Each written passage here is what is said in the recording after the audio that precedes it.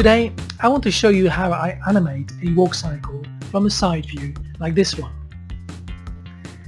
My name is Sykosan, I am a French animator and illustrator with 15 years of experience and I am based in London.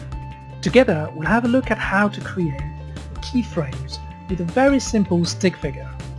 Then we will add a second pass of keyframes for the secondary animation. Then we'll add the remaining pass of in-betweens for smooth animation. And finally, I will apply these principles to a more complex character.